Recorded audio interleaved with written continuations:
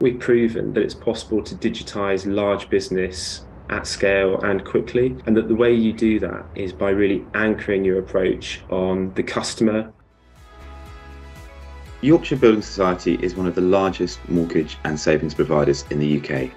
We're a top 10 lender and we've got a balance sheet of over £55 billion and over 2.5 million customers. So customer outcomes are essential to transformation.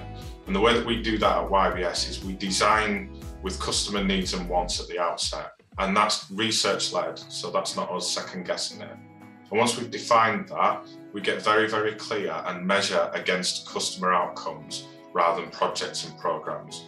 The core message for me around Yorkshire Building Society is it's an incredibly purposeful organisation. We have a real impact to society and our members, but traditionally we've maybe not been able to do that with the level of capability that other providers can. So it can be difficult to do business with us, particularly if you want to operate digitally. We've been on a journey that's created the capabilities that allow us to not only be purposeful, but to do that in an incredibly modern, engaging way we're removing friction all the time to make it really easy to do business with us.